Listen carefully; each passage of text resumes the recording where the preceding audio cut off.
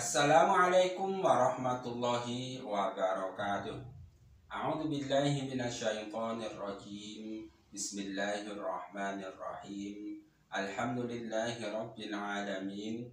Allahumma salli wa sallim ala sayyidina Muhammad wa ala ali sayyidina Muhammad amma ba'du.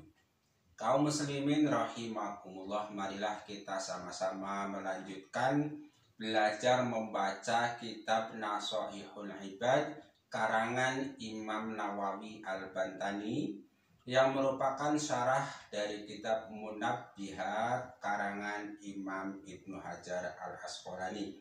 Kali ini kita sampai pada bab ketiga makalah nomor 46. Pada makalah nomor 46 ini, Imam Ibnu Hajar Al-Asqalani menuliskan Wangan Sufyan bin Uyainah qala man ahabballaha ahabba man ahabbahu Allah taala.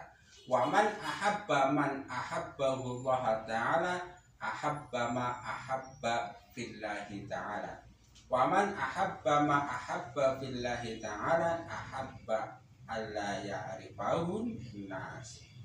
Disingkatnya begini.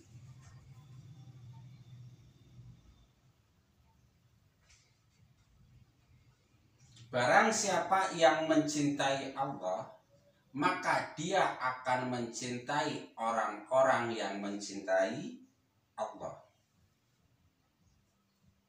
Lalu, barang siapa yang mencintai orang yang mencintai Allah, maka dia akan mencintai sesuatu yang dicintai orang tersebut karena Allah.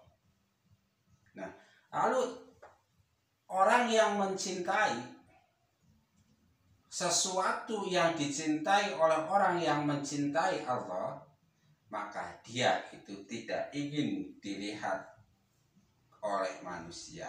Dengan kata lain begini gampangnya tandanya orang kalau orang kalau sudah cinta kepada Allah maka dia akan mencintai orang yang juga mencintai Allah. Nah, kalau orang sudah mencintai orang yang mencintai Allah maka dia akan mencintai sesuatu yang dicintai oleh orang tersebut. Dengan kata ini semuanya karena kalau kita cinta kepada Allah, maka cinta kita cinta kepada orang-orang yang dicintai Allah. Kalau kita cinta kepada orang-orang yang dicintai Allah, maka kita akan mencintai orang-orang yang dicintai oleh orang-orang terus gitu.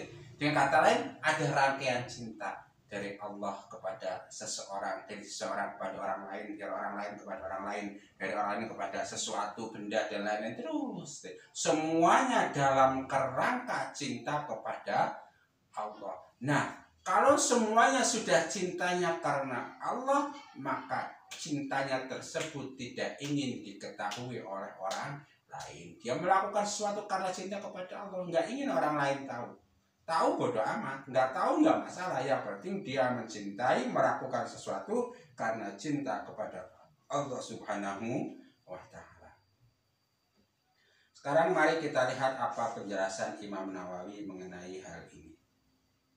Wal maqalatu asadisatu wal arbauna utai maqalah kang nomor 46.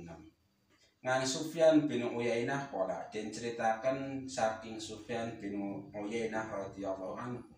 Man ahabba Allah ahabba man ahabbahu Allah taala man utawi sapane wong iku ahabba lamun demen sapa man Allah ing Gusti ahabba mongko bakal demen sapa man man ing wong siraman ahabbahu kang demen sapa man hu ing Allah taala hale mohon sapa Gusti Allah. Di barang siapa yang mencintai Allah maka dia pun akan mencintai orang-orang yang mencintai Allah dengan kata lain tasdat minar ulama'i wasolihina seperti orang-orang alim dan para orang sosok. Kalau kita mencintai Allah, pasti kita akan mencintai para ulama dan juga akan mencintai orang-orang soleh. Lalu kalau faktanya kita tidak cinta terhadap ulama, kita tidak cinta kepada orang soleh, bisa jadi itu menjadi tanda bahwa kita tidak mencintai Allah. Kenapa? Karena tanda orang yang cinta kepada Allah adalah mencintai ulama dan orang soleh dan orang baik. Sementara tidak mencintai orang baik, tidak mencintai orang soleh, tidak mencintai ulama, itu bisa jadi menjadi tanda orang tersebut tidak mencintai Allah Subhanahu wa taala. Oleh karena itu sekarang coba kita pikirkan introspeksi diri. Kita cinta nggak kepada orang soleh? Kita cinta nggak kepada para ulama? Kita cinta nggak kepada orang-orang yang melakukan kebaikan? Kalau cinta, alhamdulillah, mudah-mudahan rasa cinta tersebut menjadi tanda bahwa kita cinta kepada Allah Subhanahu wa taala. Tetapi kalau ternyata kita menanyakan diri kita, kita tidak suka melihat seseorang melakukan kebaikan, ah misalnya. Kita tidak suka kepada orang-orang soleh, malah iri dengki misalnya. Kita tidak suka kepada para ulama misalnya. Maka jangan-jangan ketidakcintaan kita kepada mereka itu merupakan tanda bahwa kita tidak benar-benar mencintai Allah Subhanahu wa taala. Kita lanjutkan waman ahabba man Allah ta'ala ahabba ma ahabba fillahi ta'ala waman utai sapa nama iku ahabba lamun demen sapa man demen man ing wong ahabba kamu sing demen hu ing man sapa Allah Gusti Allah ahabba moko bakal demeni sapa man ma ing barang sira ahabba kang demen sapa man fillahi ing dalam krana Allah taala. Jadi orang-orang yang sudah mencintai orang yang cinta kepada Allah maka dia akan mencintai sesuatu karena Allah. Minal amali asoli asolihat nah kalau kita sudah cinta kepada orang yang berbuat kebaikan, cinta kepada orang soleh, cinta kepada ulama, insya Allah kita pun akan seperti mereka. Mau berbuat baik, mau berbuat amal soleh, mau menuntut ilmu. Kira-kira gitu ya semuanya karena Allah.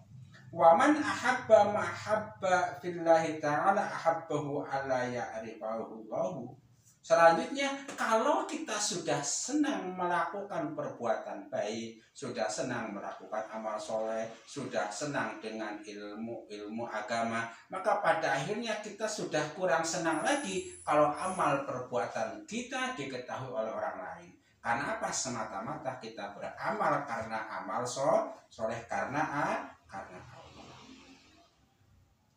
Balik balik ketungkul sepoman al amala ing amal fil khulwati ing dalam persepen. Dengan kata lain, ketika orang-orang sudah menjadi orang yang cinta berbuat baik, berbuat amal soleh, cinta kepada ilmu, cinta kepada orang soleh, cinta kepada ulama, cinta kepada Allah, pada akhirnya dia lebih senang berbuat sesuatu di tempat yang sepi, di mana jauh dari pandangan manu, manusia. Tentu ini karakter orang soleh pertama. Nanti ada orang soleh karakter orang soleh yang wa naqala al asqalani anna maha batallahi qismani nah, menurut Ibnu Hajar al Asqalani pengarang kitab Fathul Bari ya ini pengarang kitab Munabiat juga ini Fathul Bari kitab ini menurut beliau pengarang kitab Fathul Bari Ibnu Hajar al Asqalani menjelaskan anna mahabbatullahi qismani. Cinta kepada Allah itu ada dua dibagi menjadi dua.